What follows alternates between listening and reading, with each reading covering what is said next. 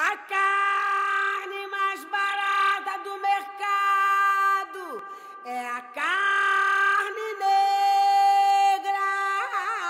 O Brasil é um país racista é, e é um, até lugar comum mencionar isso e todo mundo sabe, está na cara, está nas estatísticas e é uma burrice ignorar esse fato também e não trabalhar ah, em prol da comunidade negra para superar essas diferenças de, de, com relação à cor.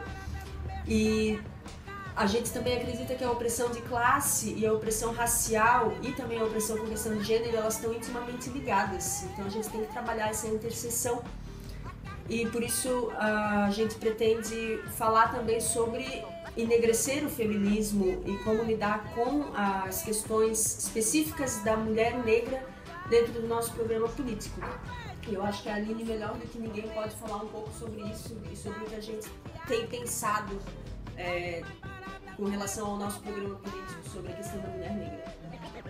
Até porque a trajetória da mulher negra, ela tem alguns pontos bem diferentes da trajetória da mulher branca.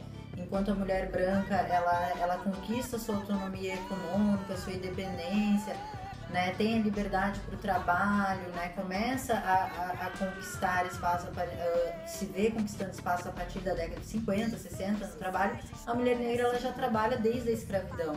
A mulher negra já é mãe solteira há muito tempo. A mulher negra ela já estava sofrendo o machismo até de uma maneira mais forte. Vive realmente num país extremamente racista. As mulheres negras estão mais expostas a vários tipos de violência por causa disso né, a violência que se expressa não só a violência né, doméstica, mas também a violência obstétrica.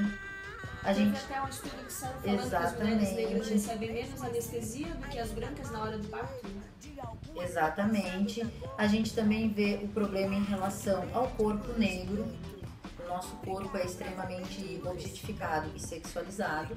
A gente vê isso né, na questão da representatividade na mídia, que acaba legitimando né, a violência simbólica né? Nós mulheres negras somos sempre representadas como objeto sexual, geralmente, ou, ou quando não é o objeto sexual personificado na imagem da mulata, é a mulher negra como, como servente, empregada doméstica, nunca tendo um protagonismo, né? nunca sendo representada como, como realmente é a realidade da mulher negra, né?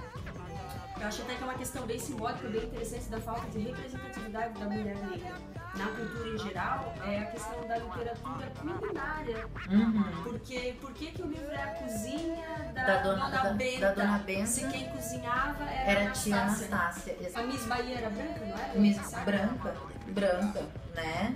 Outra coisa até relacionada ao carnaval, né, essa coisa de apropriação cultural. Hoje em dia, os destaques, né, dos carnavais, as rainhas de bateria, não são mais as negras de comunidade, são cargos vendidos para mulheres brancas. Oh.